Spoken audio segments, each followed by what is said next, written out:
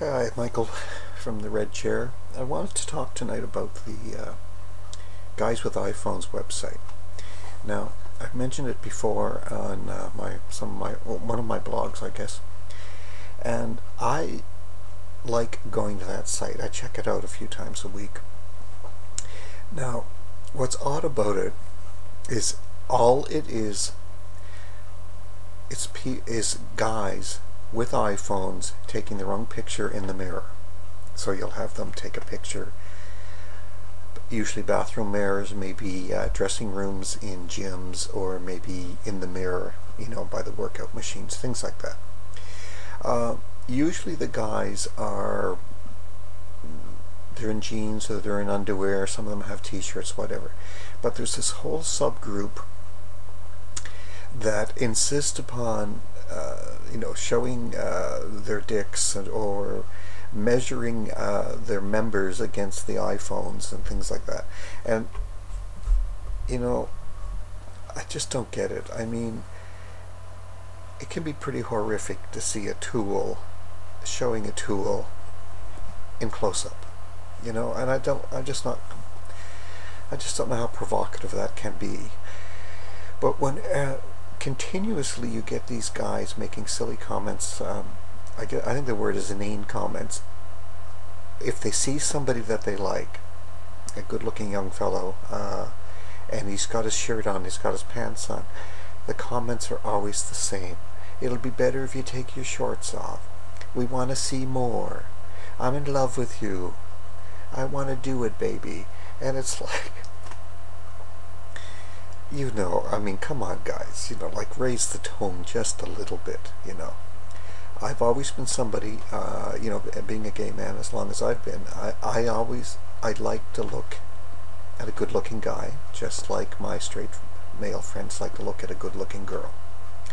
Or they don't even have to be good-looking if there's something about them that's that's coming through, you know, the, the eyes or the smile or you know, the intelligence or whatever. Intelligence is always a big turn on to me. They don't always have to be good looking. Uh, anyway, those are some of my comments about that. But the last thing I want to see is somebody's dick in close up. Okay? I've got one. I know what they look like.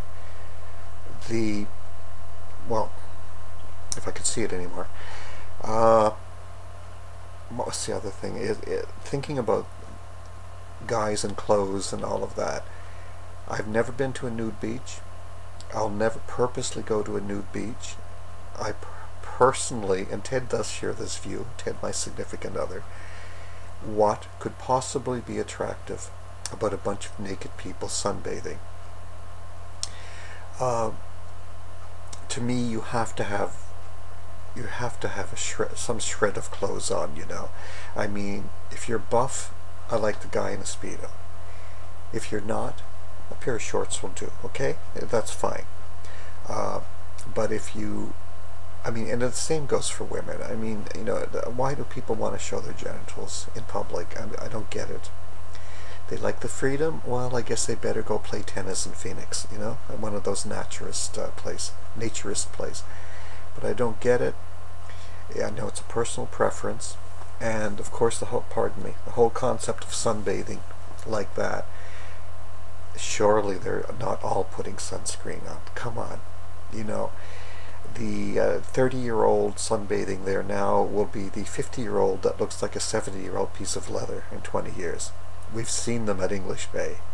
These people who've sunbathed so much that they had the color of mono not monogamy uh, mahogany and continued to do it. So I just don't know. Anyway, I thought I'd get some of that off my chest because there's a lot more to eroticism than nudity.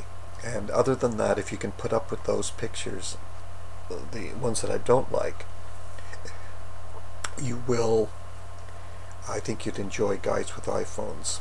Uh, it, uh, it's just, it's so random, you know. It's, it's, it's quite amusing that way. But then again, you know, you might say, hey, this is stupid. You know, I've got my own family I can look at. Anyway, uh, that's it for now from the Red Chair in uh, Bedford, Nova Scotia. We'll talk to you again soon.